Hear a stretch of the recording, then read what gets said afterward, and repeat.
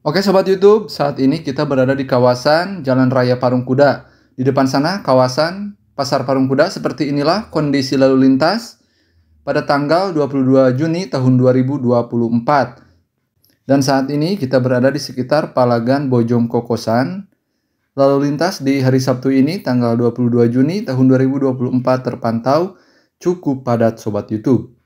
Seperti inilah kondisi alternatif Cicurug yang sebelah kiri dan saat ini drone berada di kawasan Cipangmulaan Cicurug ya dan arah ke depan sana menuju kawasan Sukabumi. Untuk lalu lintas terpantau cukup padat karena di depan sana ada truk yang mogok ya. Seperti ini kondisi lalu lintasnya sobat YouTube sangat padat sekali terutama kendaraan yang mengarah Sukabumi ya dari arah Bogor Jakarta.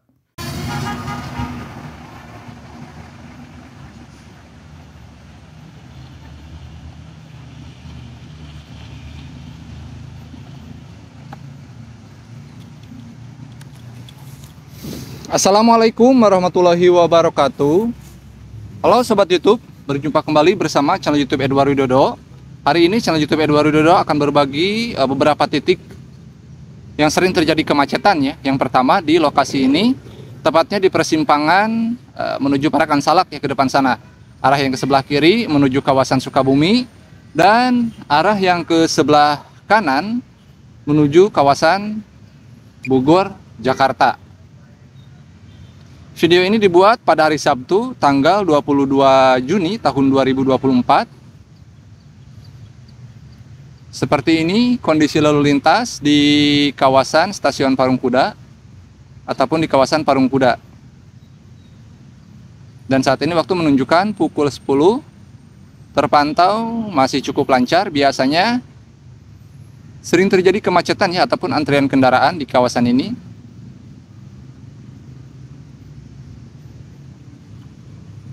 Oke, seperti ini kondisi lalinnya.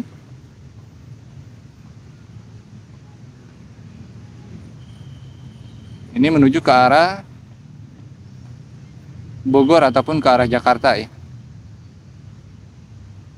Dan tepat di sebelah kirinya ini adalah stasiun Parung Kuda.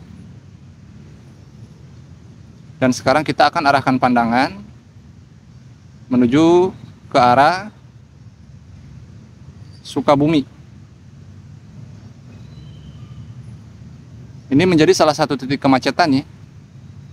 Pasca ditutupnya Jalan Tol Bocimi tahap 2. Nah, di titik ini keluar masuk kendaraan.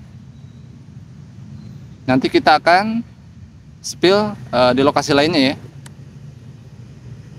Lokasi pertama kita berada di kawasan Parung Kuda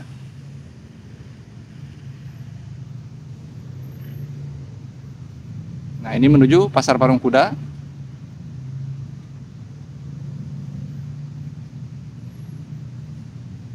Seperti ini kondisi lalu lintasnya.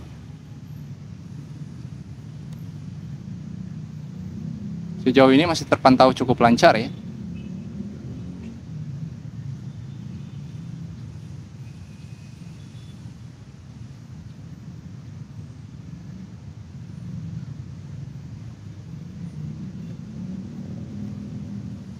Seperti ini. Kondisi di kawasan Parung Kuda.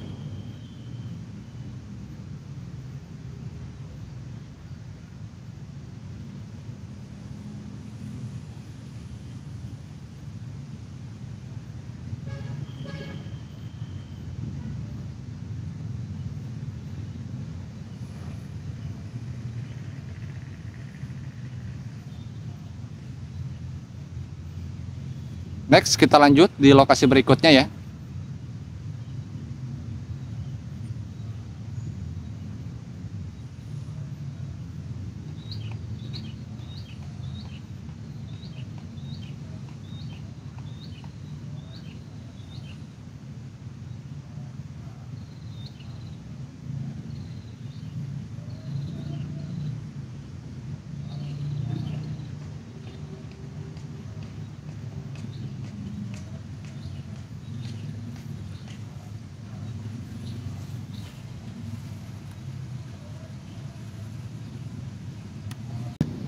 Oke, jika tadi kita sudah di kawasan Pasar Parung Kuda, Dan ini menjadi salah satu titik kemacetan juga ya di sekitar Palagan. Arah yang sebelah kanan menuju kawasan Sukabumi. Seperti ini.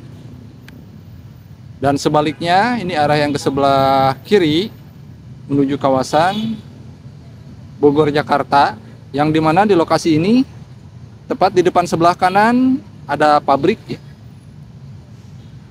Dan biasanya ketika jam pulang kerja selalu terjadi kemacetan tepat di depan sana kawasan pabriknya dan saat ini pun kondisi sedang macet seperti ini.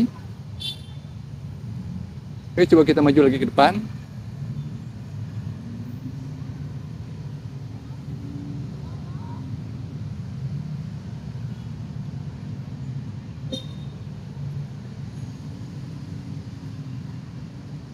Seperti ini kondisi lalu lintasnya ya.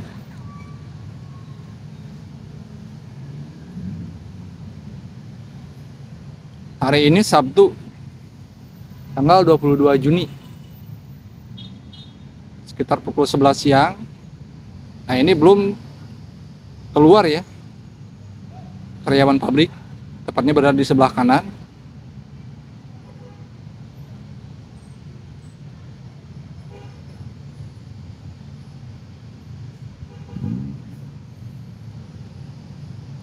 Untuk kondisi uh, lokasi pabriknya. Berada di depan sana ya. Pabrik belum keluar. Namun kondisi jalan sudah seperti ini.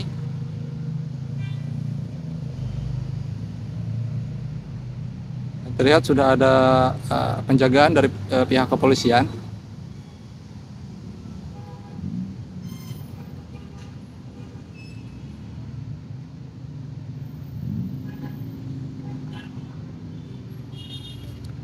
Seperti ini kondisi lalinnya. Jadi ini titik kedua ya setelah kawasan Parung Kuda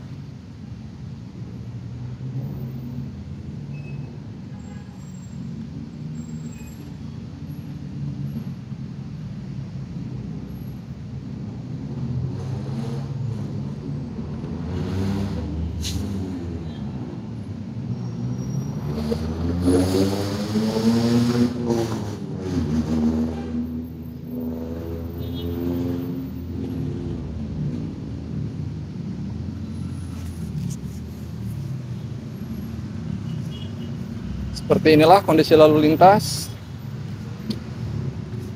di kawasan Sukabumi, tepatnya di sekitar Palagan Bojong Kokosan. Coba kita akan tinggikan lagi.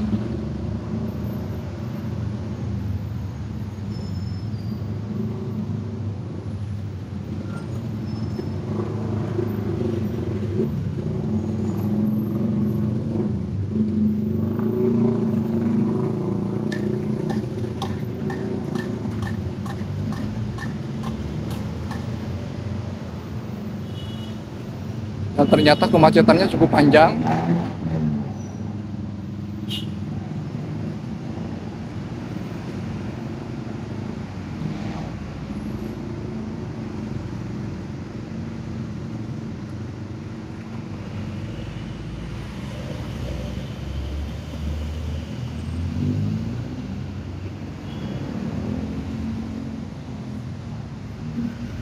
Seperti ini ya kondisinya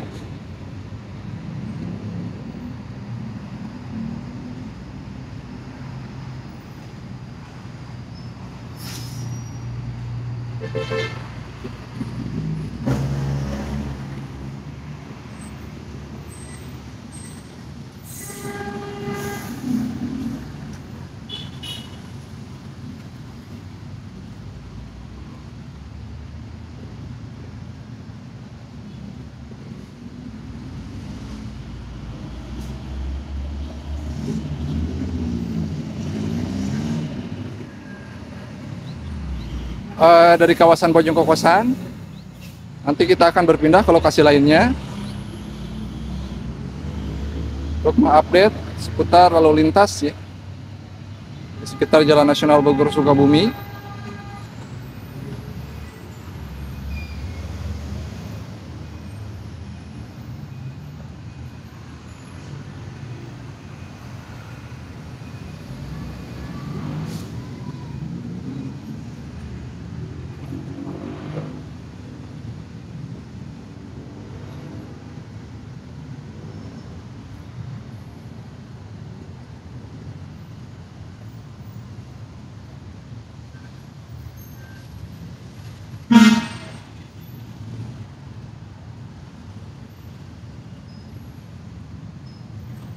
Nah, di titik ini biasanya.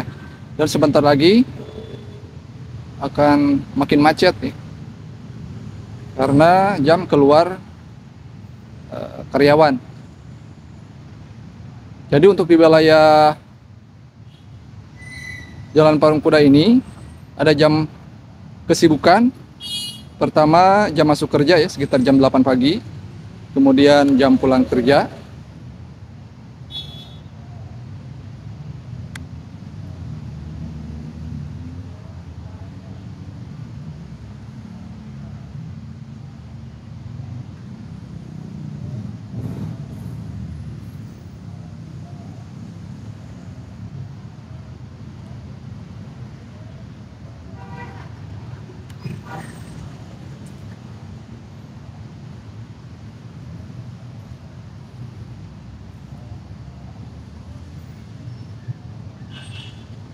Seperti ini antrian kendaraan. Di kawasan Palagan Bojong Kokosan ya karena saya take off di sekitar Monumen Palagan Bojong Kokosan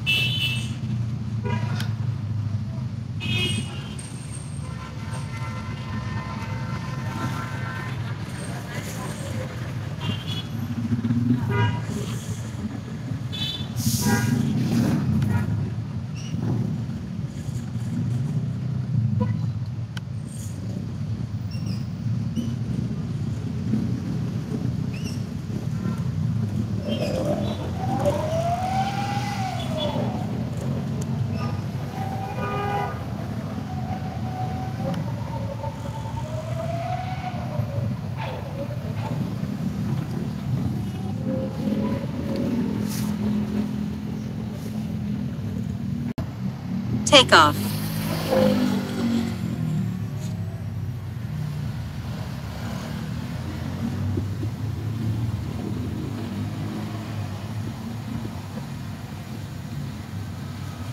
Oke dan sekarang kita berada di sekitar Cipangmulaan ya. Ataupun lokasi dari jalur alternatif Cicurug dan saya take off ini di sekitar Masjid Nurul Anda di arah yang ke sebelah kiri menuju Bogor Jakarta dan arah yang ke sebelah kanan menuju kawasan Sukabumi dan sekitarnya.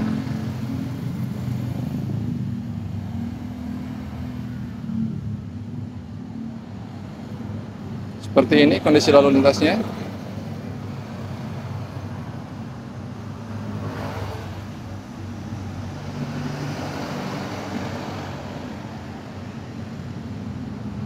menuju kawasan Sukabumi. Dan sekarang kita akan alihkan pandangan menuju ke arah jalur alternatif.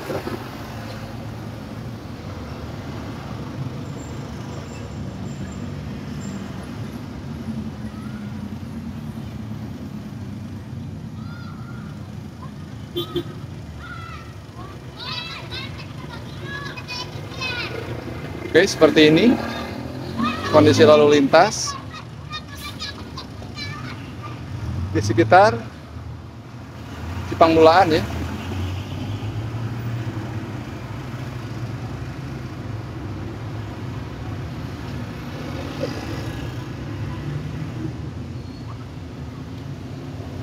Dan saat ini drone mengarah ke lokasi jalur alternatif yang berada di depan sana.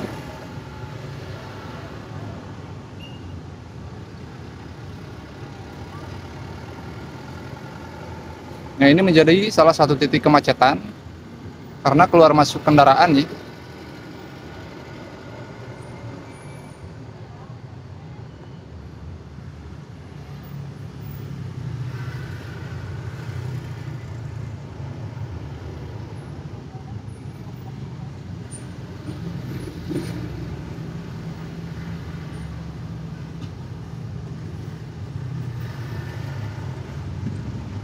Oke, ini dia jalur alternatif Cicurug.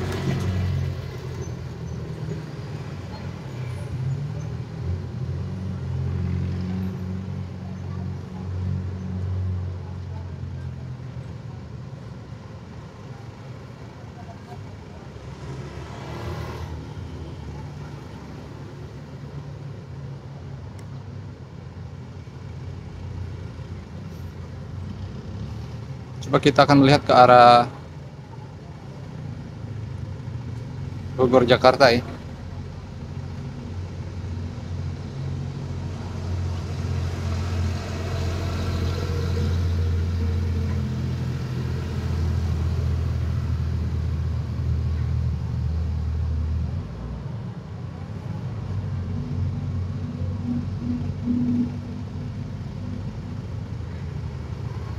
Oke, macetnya cukup panjang sobat YouTube.